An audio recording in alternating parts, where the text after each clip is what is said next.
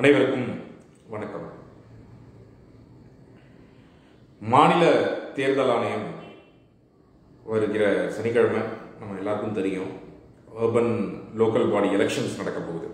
ஆனால் இந்த தேர்தலில் இவிஎம் மிஷின் இருக்க போகுது. ஆனால் நோட்டா பட்டன் இல்லை. நமக்கு நல்லா ஞாபகம் இருக்கும். மே- கடந்த எம்எல்ஏ எலெக்ஷனில் எல்லாம் இவிஎம் மிஷினில் நீங்கள் பார்த்துருப்பீங்க. அந்த நோட்டா பட்டன் இருந்ததை. லோக்கல் பாடி எலெக்ஷனில் ஏன் நோட்டா இல்லை? மாநில தேர்தல் ஆணையர் பழனிக்குமார் ஐஏஎஸ் ரிட்டையர்டு இவர் வந்து இவர் தான் மாநில தேர்தல் ஆணையராக இருக்கிறார். இவர் தான் பதில் சொல்லணும் இதுக்கு. இவர் தான் இந்த நோட்டா பட்டன் இல்லாமல் செய்ததற்கு முழு பொறுப்பு அவர் தான் ஏற்கணும். அர்பன் லோக்கல் பாடி எலெக்ஷன்ஸில் இவங்க என்ன சொல்கிறாங்க எம்எல்ஏ எலெக்ஷனில் அது இருந்தது. ஏன்னா வந்து ஏற்கனவே சுப்ரீம் கோர்ட் வந்து ரெண்டாயிரத்தி பதிமூணில் ரெண்டாயிரத்தி நாலில் கேசஸ் ஃபைல் பண்ணி அது பல ஆண்டுகளுக்கு பிறகு ஒரு ஆர்டர் வந்தது. ரொம்ப முக்கியமாக அந்த ஆர்டரில் என்ன சொல்லப்பட்டது? நோட்டா என்பது மக்களுடைய அடிப்படை உரிமை. நீங்கள் நோட்டாக்கு போடுறீங்க இல்லைங்க இல்லைங்கிறது வேற வேறு விஷயம். ஒவ்வொருவரும் அந்தந்த வார்டில் யார் நல்ல கேண்டிடேட்னு பார்த்து போடலாம். ஆனால் எந்த கேண்டிடேட்டும் எனக்கு போடுவதற்கு விருப்பம் இல்லை யாரும் சரியில்லை அப்படின்னு நினைச்சாங்கன்னா நோட்டா போடுவது ஒருவருடைய அடிப்படை உரிமை நன் ஆஃப் த அபவ் எந்த கேண்டிடேட்டும் எனக்கு நான் எல்லாரையும் ரிஜெக்ட் பண்றேன். ரைட் டு ரிஜெக்ட் அப்படின்னு சொல்றோம்.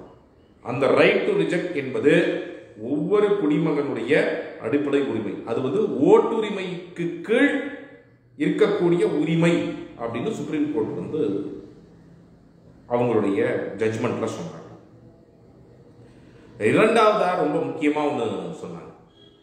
ரைட் டு சீக்ரஸியும் ஒவ்வொரு குடிமகனுடைய உரிமை. நீங்கள் யாருக்கு ஓட்டு போட போறி போட்டிருக்கீங்க அப்படிங்கிறது யாருக்கும் தெரியக்கூடாது. தெரிய வேண்டிய அவசியம் கிடையாது. நீங்களா விருப்பப்பட்டு சொல்வது வேறு. ஆனால் உங்களுக்கு ஒ- ஒரு சீக்ரசி இருப்பதற்கான மெயின்டைன் பண்ணுவதற்கான ரைட் இருக்கு நான் யாருக்கு ஓட்டு போட்டேன் என்று. அப்போ அது எப்போ வரும்? நோட்டா பட்டன் வந்து இவிஎம் மிஷின்ல இருந்தாதான் நான் போய் நோட்டா பட்டன் அமுக்கிறனா இல்ல மிச்ச பட்டனை வேற ஏதாவது அமுக்கிறனா அப்படிங்கிறது யாருக்கும் தெரியாம இருக்கும். அந்த சீக்கிரசி மெயின்டைன் ஆகும். நான் நோட்டா பட்டன் அங்க வைக்கல. நீங்க போய் ஃபார்ம் வேணால் நீங்க வந்து ப்ரிசைடிங் ஆபீசர் கிட்ட போய் கேட்டு ஃபில் பண்ணுங்கன்னா அங்க இருக்கிற பூத் ஏஜென்ட் என்ன பண்ணுவான்? அங்க இருக்கிற பூத்தி ஏஜென்ட் என்ன பண்ணுவாங்க? அங்க நாலு பேர் அஞ்சு பேர் இருப்பாங்க. அவங்க எல்லாம் என்ன பண்ணுவாங்க? மிரட்டுவதற்கு வாய்ப்பு இருக்கு. யாராவது போய் நான் ப்ரிசைடிங் ஆஃபீஸர் கிட்ட போயிட்டு நான் வந்து எல்லாரையும் ரிஜெக்ட் பண்றேன். நான் வந்து ரெஜிஸ்டர்ல என்ட்ரி போடுங்க அப்படின்னு கேட்டாங்கன்னா மிரட்டுவதற்கு வாய்ப்பு இருக்கு. ரைட் டு சீக்கிரசியை மீறக்கூடிய செயல். அப்போ நோட்டா பட்டனை வந்து ஒரு அடிப்படை உரிமையாக மிக தெளிவாக கொ- சொன்ன பிறகும் கூட அதை மீறக்கூடிய விதமாக பழனிக்குமார் ஐஏஎஸ் அவர்கள் மாநில தேர்தல் ஆணையர் ஏன் இந்த வேலையை செய்கிறாரு? இவர் ஒரு ரிட்டையர்டு ஐஏஎஸ் அதிகாரி. நான் என்ன கேட்கிறோம் நாம் என்ன கேட்கிறோம்னா இவங்க வந்து எதற்காக ரிட்டையர் ஆயின பிறகு இது போன்ற பதவிகளுக்கு வந்து மக்கள் விரோத வேலைகளை செய்ய வேண்டிய அவசியம் என்ன? ஏற்கனவே ஐஏஎஸ் அதிகாரியாக இருந்து சம்பாதித்தது பார்த்தா தான் ரிட்டையர் ஆனதுக்கு பிறகு வந்து நம்மளுடைய வரி பணத்தை வேஸ்ட் பண்ணி ஒரு நேர்மையான தேர்தல் நடத்த முடியாததற்கு எதற்கு இவங்களுக்கு இந்த பதவி? இவர் இந்த பதவியை விட்டு வ- முதல்ல விலகணுமா இல்லையா இப்போ? இவரால் ஒரு நேர்மையான தேர்தல் நடத்த முடியாது அப்படின்னு சொன்னால் ஒரு குடிமகனுடைய உரிமை பறிக்கப்படுகிறது என்றால் அவர் அந்த பதவியில் இருக்கிறதுக்கு லாய்க்கு கிடையாது. அவர் அந்த பதவியிலிருந்து முதல்ல விலகணும்.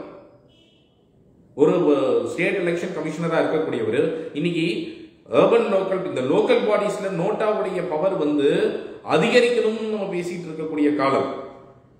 ஜென்ரலாக என்ன எம்எல்ஏ எலெக்ஷனில் நோட்டாக்கு என்ன பவர் கிடையாது. நீங்கள் நோட்டா போட்டிங்கன்னா கூட அது ஒரு ரெண்டாயிரம் ஓட்டு மூவாயிரம் ஓட்டு இல்லை ஐயாயிரம் ஓட்டு வந்தால் கூட அதற்கு எந்த பவரும் கிடையாது.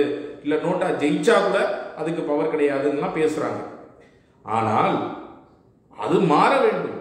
தேர்தல் சீர்திருத்தங்கள் மாற வேண்டும். இன்னைக்கு மகாராஷ்டிராவில் ஹரியானாவில் லோக்கல் பாடிஸில் ஒரு திருத்தம் கொண்டு வந்திருக்காங்க. என்ன சொல்லியிருக்காங்கன்னா அதில் நோட்டா ஜெயிச்சால் மீண்டும் தேர்தல் நடக்கும்.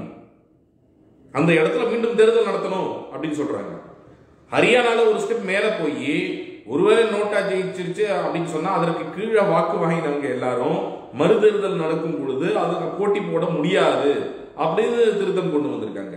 இவ்வளவு சீர்திருத்தங்கள் நடக்கக்கூடிய வேலையில தமிழ்நாட்டில் நோட்டா பட்டனை தூக்கிறதுக்கு உங்களுக்கு யார் உரிமை கொடுத்தது நோட்டா பட்டனையே நான் தூக்கிடுவேன் இவிஎம் மிஷின்லேயே இருக்காது நோட்டா பட்டன் அப்படின்னு சொன்னா இது எந்த வகையில நியாயம்?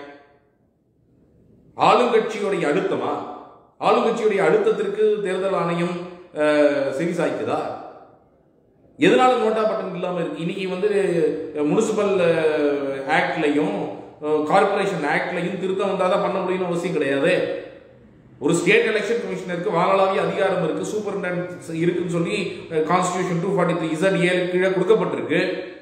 ஒரிசால வந்து ஆக்டில் மாற்றம் கொண்டு வரலையே அவங்க நேரடியாக நோட்டா பட்டனில் வந்து இவிஎம் மிஷினில் தான் கொண்டு வந்திருக்காங்க இப்போது அப்போது உங்களால் நினச்சா முடியும். ஆனால் செய்ய மாட்டோம் என்று இருப்பது எந்த வகையில் நியாயம்? ரிட்டையர் ஆகிட்டு வீட்டில் உட்காந்துக்கோங்க ஐஏஎஸ் அதிகாரிகள்லாம்.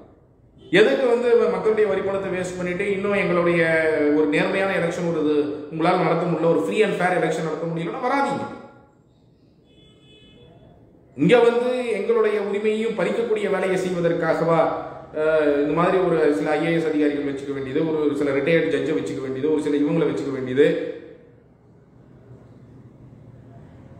நீங்க வந்து மக்களுக்காக வேலை செய்யணும்.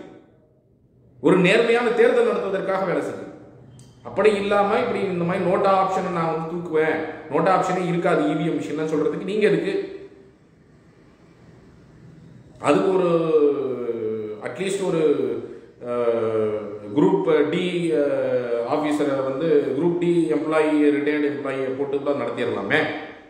நம்ம ஆளுங்கட்சி சொல்கிறது அப்படியே கேட்டு நம்ம பண்ணணும் இல்லை எதுவும் பண்ண மாட்டோம் அப்படின்னு சொன்னால் அதுக்கு கிடையாது. தேர்தல் என்பது நேர்மையாக நடக்கணும். அப்போ நேர்மையாக நடக்கணும்னா எந்த இன்டர்ஃபரன்ஸும் இல்லாமல் நேர்மையாக மக்களுடைய உரிமைகளை வந்து பறிக்காமல் அது வந்து நடக்க வேண்டிய அவசியம் இருக்கிறது.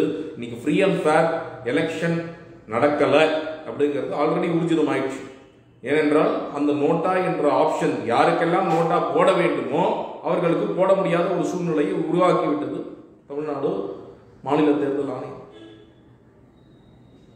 இது வந்து வன்மையாக கண்டிக்கத்தக்கது. முதலில் பழனிக்குமார் ஐஏஎஸ் ரிட்டையர்ட் அவர்கள் பதவி விலக வேண்டும். அவர் பதவி விலகலன்னா அவரை பதவியை விட்டு தூக்க வேண்டும். இவர்கள் எல்லாம் மாநில தேர்தல் ஆணையர்களாக இருந்து தேர்தல் நடத்தி இந்த மாதிரி வந்து நோட்டா பட்டன் மக்களுக்கு இந்த ஆப்ஷன்ஸ் கொடுக்காதது ஒப்புக்கொள்ள முடியாத ஒன்று. நம்மளுடைய வரி பணத்திலேருந்து நீ உங்களுக்கு சம்பளம் கொடு கொடுப்பதற்கு எங்களுக்கு விருப்பம் இல்லை. நீங்களே பதவி விலகி போயிருங்க. இல்லை நோட்டா பட்டனை கொண்டு வாங்க இவிஎம் மிஷின் இந்த மாதிரி தேர்தலில் நம்ம வந்து மேலும் மேலும் சீர்திருத்தம் கொண்டு வர வேண்டிய அவசியம் இருக்கிறது இன்னைக்கு வந்து கவுன்சிலர் எலெக்ஷன் நடக்குது அப்படின்னு சொன்னால் கவுன்சிலர்களும் நமக்கு தெரியும். பாதி பேர் ரவுடிகளாகவும் பாதி பேர் வந்து பெரிய கட்சிகளில் இருக்கக்கூடியவர்கள் வந்து கான்ட்ராக்டர்களாகவும் இருக்கிறவர்கள் எல்லாம் போட்டி போடுவாங்க. அவங்க எவ்வளோலாம் ரவுடித்தனம் பண்ணுவாங்கன்னு தெரியும். ஒரே ஒவ்வொரு ஏரியாலையும் பஞ்சாயத்து பண்ணுறவங்க எல்லாமே வந்து அவங்க தான் இருக்காங்க அப்படிங்கிறது தெரியும். அப்போ இதில் ஒரு பெரிய மாற்றம் தேவை. இவங்களுக்கு அவ்வளோ பவர்ஸ் இருக்குது ஒரு சிவிக் இஷ்யூ ஸ்டாண்ட் பண்ணக்கூடிய பவர்ஸ் இருக்குது இவ்வளோ ரொம்ப ரொம்ப முக்கியமான ஒரு தேர்தல். அப்போ இந்த மாதிரி ஒரு தேர்தலில் எலெக்ட் ஆகி வரக்கூடிய கவுன்சில் வந்து ப்ராப்பரான கவுன்சிலாக இருக்கணும். அப்போ அப்படி ப்ராப்பரான கவுன்சிலாக இருக்கணும். அந்த மாதிரி ஒரு இடத்துல நல்ல கேண்டிடேட்ஸ் இல்லைன்னா மக்களுக்கு ரிஜெக்ட் பண்ணக்கூடிய ஆப்ஷன் இருக்கணும். நீங்கள் இது போன்ற ஒரு செயலை தமிழ்நாடு தேர்தல் ஆணையம் இப்படி செய்யும்னு யோசிச்சு பாருங்க. யாருமே யோசிச்சு பாருங்க இன்னைக்கு ஒவ்வொரு மாநிலத்திலையும் நோட்டாக்கு பவர் கொடுத்துட்டு இருக்காங்க. அதிகமான பவர் கொடுத்துட்டு இருக்கக்கூடிய ஒரு சூழ்நிலையில் நோட்டா பட்டனே இல்லாமல் நாங்கள் செய்து விடுவோம் என்று சொல்வது வந்து மிக மிக மோசமான ஒரு செயல். ஜனநாயக விரோத போக்கு மட்டும் கிடையாது.